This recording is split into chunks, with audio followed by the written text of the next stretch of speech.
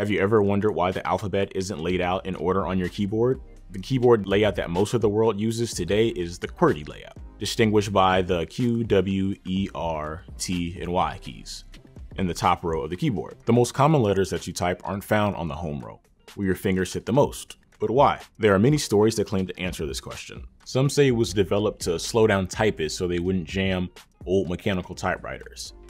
Others claim it was meant to resolve problems for telegraph operators. One thing is for sure, the keyboard layout that millions of people use today isn't the most effective one. Different keyboard layouts have even been created to try and make typing more efficient. Now that we're starting to live in a mobile-centric world with our smartphones, the landscape for keyboards may change completely. My typing fingers are crossed.